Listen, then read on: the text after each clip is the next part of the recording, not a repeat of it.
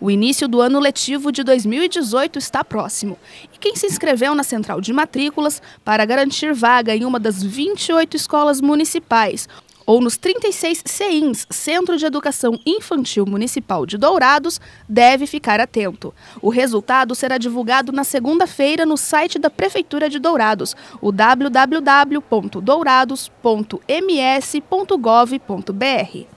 Caso não preencha, a partir do dia 29 de janeiro, o site já está aberto novamente, o link da matrícula estará aberto novamente, né? A gente continua fazendo inscrições e essas vagas que ainda existem, a gente vai estar designando por aqui, pela central de matrículas.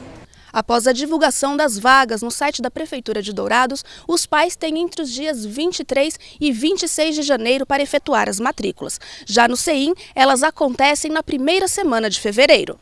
A Central de Matrículas registrou, para este ano letivo, 5.700 inscrições de alunos da educação infantil e 2.679 para alunos do ensino fundamental, que vai do primeiro ao nono ano, e o EJA, Educação de Jovens e Adultos.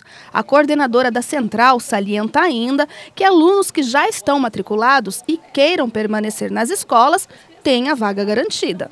Os alunos que já são das escolas, que já estão né, na escola, eles só renovaram as matrículas, então isso aí não tem problema, já tudo matriculado, bonitinho. Se ele não ganhou vaga, ou de repente ele não quis onde ele ganhou essa vaga, aí ele deve procurar a gente aqui, tá? Ele procura a central de atendimento à matrícula, né, que é aqui no pavilhão de eventos, ao lado da prefeitura, que a gente vai estar atendendo eles bonitinho e tentando resolver da melhor maneira possível.